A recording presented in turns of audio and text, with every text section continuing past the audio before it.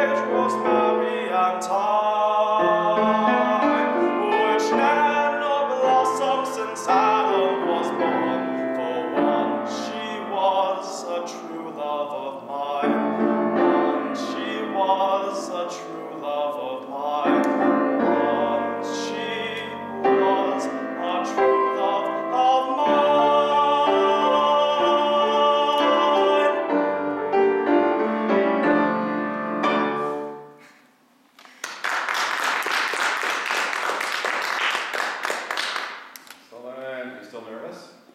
Yes. Yeah. yeah. yeah. Sometimes it's even worse when you're done, right? Yeah. Give me another moment to write a few things and we'll talk.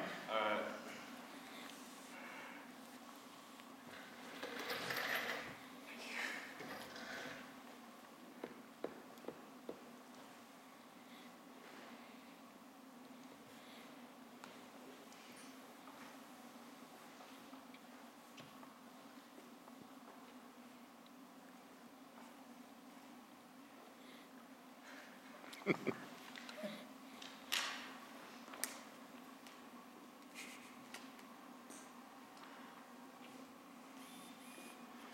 right, Siggy, so tell me about nerves.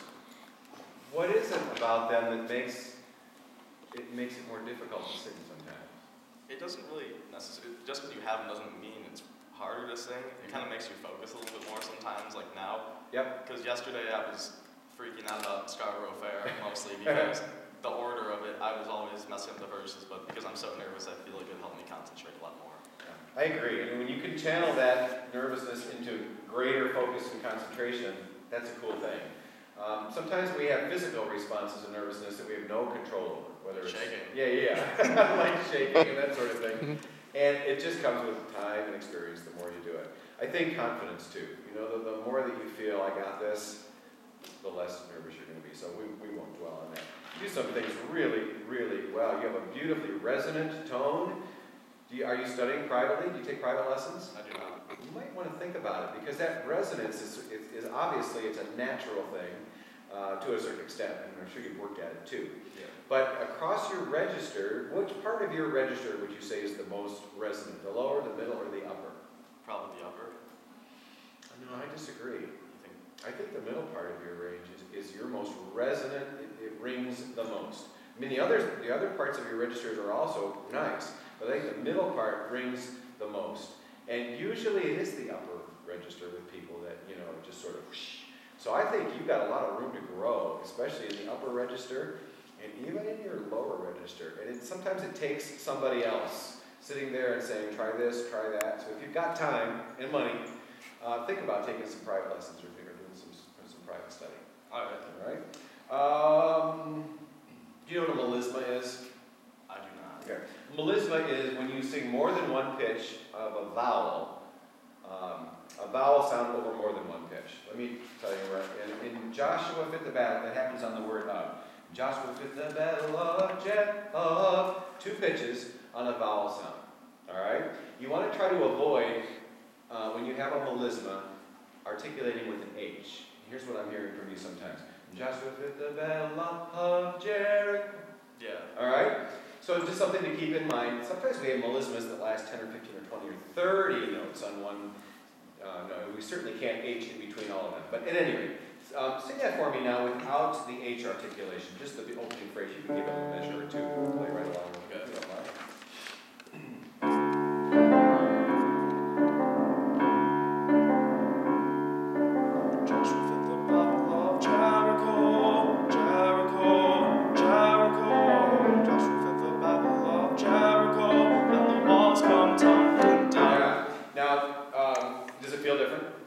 Yeah, because you're, you're aware of it now, right? Yeah. The other thing that's hard then is when we sing Joshua fit the battle of, of, we want to don't, we won't, we don't want to have that slide either. So again, a private teacher I think can help you with of, je, of. So you articulate those with uh, with the glottis, Okay. glott- a little more of a glottal sound. Anyway, little details, something that you can continue to work on. Okay. Um, walls come tumbling at the very end. Yes.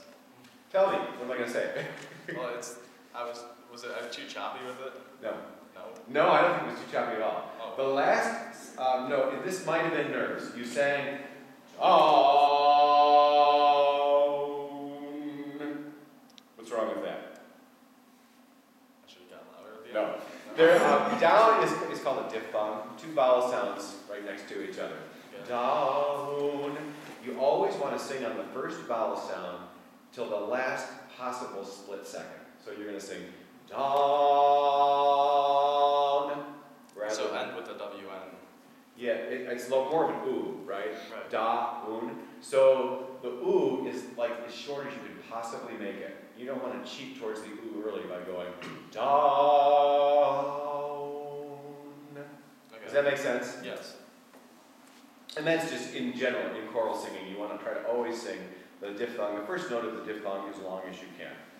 Um, you have really good expressiveness on your face. I got the feeling, actually on both songs, but especially on the first one, that during the opening introduction, you either weren't sure what to do or you were just kind of waiting for your turn to sing. And what I really want to see is what the song is about. Because I've got nothing else to do during the introduction except look at you. And of course, they're looking at you the whole time. Right. All right? This is going to be hard because we're all staring at you. But see if you can do the introduction of Joshua at the Battle of Jericho. What is the emotion in this song? Are you telling a story? Is it something that's dynamic? Is it, is it sad? Is it happy? Tell me, what, what, how would you describe it? Well, it's a story. It is a story. It's sort of a happy story, I guess. Okay. Because he's victorious. Absolutely. So it's a, uh, a joyous story. If you were telling the story to a bunch of little kids, I like to think of it that way, so it's very dramatic. You know, when you talk to, have you ever had a chance to talk to a bunch of little kids about Yes. something? Tell them a story, right? Yeah. If you go, and did, when the dragon came, you know what you're going to get back from them, right? Yeah. And if you go, when the dragon came, you know. So anyway, think about that during the introduction. We're all looking at your face, so try not to be nervous, but see if you can tell us the story during the Okay. introduction. Go ahead.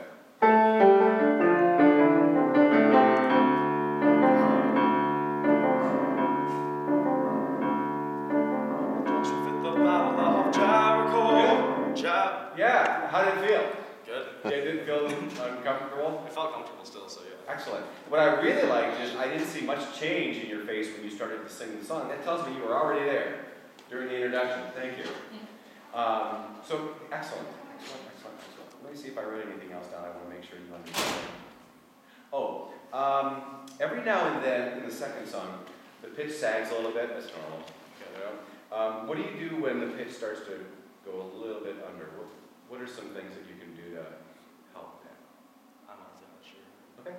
Uh, push a little harder here, and I say add resonance. When you, I say add resonance, if you raise these facial muscles. Okay, and a lot of times when the pitches go down, when the, when the pitches go down, we have to physically make an effort. It's almost like gravity takes control of notes when they go down. So we have to just be aware of that, give it extra air and extra resonance. Okay? Alright. Uh, you're doing some fabulous singing. I hope you're not nervous anymore, and I hope you do this again, and you can be less nervous next time. Alright. Excellent. Thank you for singing today. Beautiful job.